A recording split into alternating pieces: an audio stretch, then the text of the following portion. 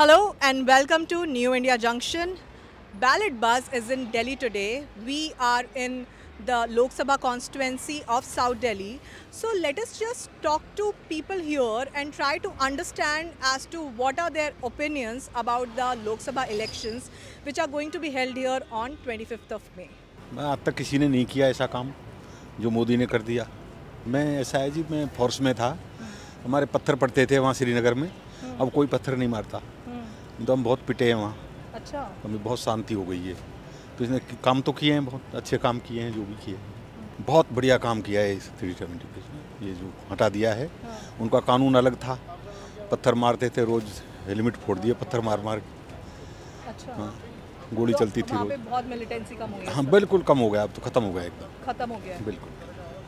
आपका ऑपोजिशन के बारे में इंडी गठबंधन के बारे में क्या कहना ये तो कुछ नहीं बेकार है खामे खा। लूट के खाने वाले हैं और कुछ गठबंधन नहीं है ठगबंधन है ये। बेकार हाँ तो कुछ किया नहीं है इतने दिन से क्या किया है बताओ आप। कोई एक काम इसका तो काम तो दिख तो रहा है ग्राउंड पे भी। जो भी है रोड देखो आप चारों तरफ़ जितने भी हैं।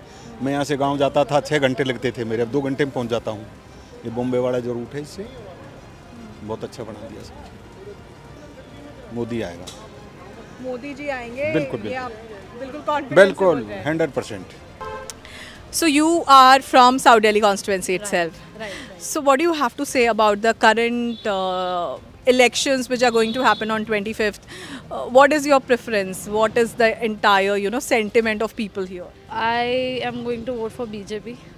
या बिकॉज़ मुझे अभी उतना आम आदमी का कुछ ऐसा लग नहीं रहा है। Like in my area I would prefer to give vote to the candidates so in my area या things are like happening the rally and everything is happening so I would prefer BJP right now नहीं basically क्या है कि अगर centre में और state में same government रहती है तो काफ़ी चीज़ों पे ईजी हो जाते हैं। ब्लेम ब्लेम जो चलता रहता है कि यहाँ से आम आदमी पार्टी कुछ ब्लेम करे वहाँ से।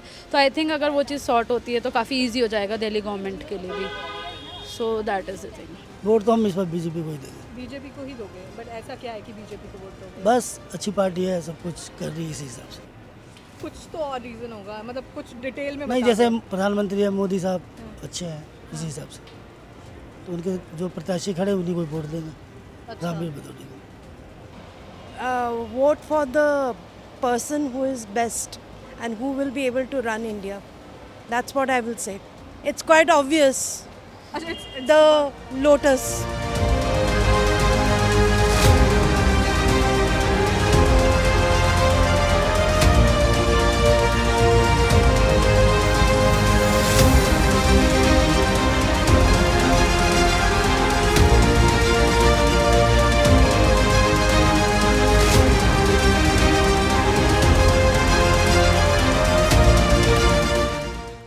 Have now come to BJP's campaign, uh, which is taking place in the South Delhi constituency of the candidate Sri Ramveer Singh Biduri, and uh, Amit Shah ji is also going to join him. So let us just talk to the people here who are coming here in numbers, and let us try to understand from them what is it that is bringing them here, why they are coming here in such huge numbers, and what do they have to say about the elections which are going to be held here on 25th May.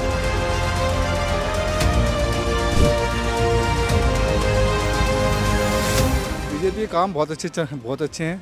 उन्होंने last time अभी ये भी कि जैसे हम देख रहे हैं काफ़ी को तीन सौ सत्तर हटाया उन्होंने। क्योंकि नितिन गडकरी ने खास कर रमेश विधुड़ी ने बहुत अच्छा जो काम करा ना इस एरिए में रमेश विधुड़ी दो बार के सांसद है। उन्होंने जितना काम करा इस एरिए में उनकी वजह से जीत निश्चित है। हमारे इधर जो है एक हाई अफसर रैंक पुलिस वाला ऐसा अपॉइंट करा गया है जो क्रिमिनल एक्टिविटी डिक्रीज कर रहा है। तो मुझे लगता है बीजेपी ही जीतेगी। हम कहीं भी जाते हैं, विदेशों में जाते हैं तो लोग हमें पूछते हैं। पहले भारतीयों को पूछते नहीं थे लोग। बहुत से जैसे हमारे वहाँ से काफ़ी जो भी सैनिकों को उन्होंने वापस करवाया है, जैसे जो हमारे कैद कर रखे थे उन्होंने वहाँ पे तो उनको काफ़ी वापस बुलाया उन्होंने। तो यह है कि विदेशों में भी हमारा आज की डेट में कोई भारतीय जाता है, आज की डेट में उसकी पूछ होती है। क्यों होती है? क्या वजह लगती है आपको? विदेश नीति हमारी ऐसी चल रही है आज की डेट में। हम अफ़गानिस्तान ये वगैरह ये जहाँ पे भी कोई भी अमेरिका हो या कोई भी अगर कोई हमारे इंडिया के विदेश मंत्री से कोई सवाल करता था तो वो जवाब देते नहीं थे लेकिन अब खुल के जवाब देते हैं। अब डरते नहीं निर्भीक होकर जवाब देते हैं। इसलिए अच्छे लगते हैं। बीजेपी जीत रही है राम रामवीर सिंह भिदोड़ी जी जीत रहे हैं और दिल्ली के सातों सीटें जीत रहे हैं। मतलब बीजेपी दिल्ली की सातों सीट सातों सीटें जीत रही है। क्या वजह है ऐसी मोदी जी के कार्य दस साल में जो कार्य किए हैं उन्होंने मोदी जी के नाम पर सब जीत रहे हैं सारा देश जीत रहे हैं। सर आप बताइए। हाँ, बिल्कुल सातों सीटें जीत रहे हैं जी। और रामवीर सिंह बिधूड़ी कम से कम पाँच लाख वोटों से जीत रहे हैं जी। जी। सिंह बिदुड़ी जी एक विकास पुरुष व्यक्ति है बदरपुर क्षेत्र में इन्होंने बहुत काम किए हैं और लोगों को ये मालूम है ये बहुत विकास कार्य करेंगे। इसलिए मोदी जी के सिवाय रामवीर सिंह बिदुड़ी जी के नाम पर भी वोट मिल रहे हैं। अच्छा ये बताइए ऑपोजिशन के बारे में आपका क्या कहना है? ऑपोजिशन तो है ही नहीं। ये तो केजरीवाल जी आपको पता ही है। ये दूसरी पार्टियों को भ्रष्टाचारी कह कह के कह कर झूठ बोल बोल कर सत्ता में आ गए। आज खुद ही फंसे हुए हैं भ्रष्टाचार में। केजरीवाल जी अभी जेल से बेल पे कुछ दिनों के लिए बाहर हैं। हाँ जी हाँ जी। शराब घोटाला में अंदर गए थे। फिर स्वाति मालेवाल का भी एक केस एक मुद्दा सामने आया है। क्या बोला है जो अपनी एक सांसद महिला के साथ ऐसा अत्याचार कर सकते हैं उनको बचाने के बजाय उसमें जो मुल, मुलजिम है उसको बचा रहे हैं। तो गलत है ये? आपका क्या कहना है सर? बिल्कुल दिल्ली की सातों सीटें जीत रहे हैं जी हम। और रामवीर जी एक विकास पुरुष हैं। रामवीर जी जब नवासी नब्बे में कुछ भी नहीं थे जब उन्होंने यहाँ इतने बड़े बड़े काम करे हैं जो कोई कर ही नहीं सकता। साउथ दिल्ली का सबसे बड़ा स्कूल यहाँ बनाया है जिसमें कम से कम पच्चीस हज़ार बच्चे हैं। और एक जनवरी 1990 को जब लोग सो के उठे थे प्रधानमंत्री को यहाँ लाके खड़ा कर दिया था उन्होंने। वो इतने बढ़िया आदमी हैं और बहुत ही उनका नाम है। जी सर अपना नाम बताइए। मेरा नाम अजय सिंह है जी।